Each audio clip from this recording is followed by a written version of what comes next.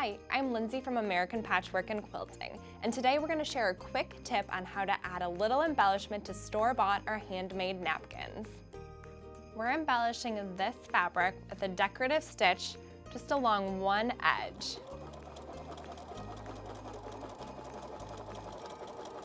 We chose a thread that matches and it will just provide some texture to the napkin and a fun surprise when guests go to use it.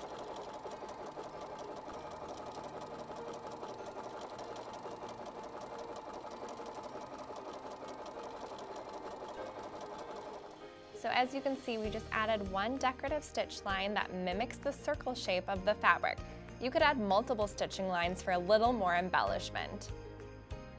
Using decorative stitches on your machine is such a quick way to add a handmade embellishment to your holiday table.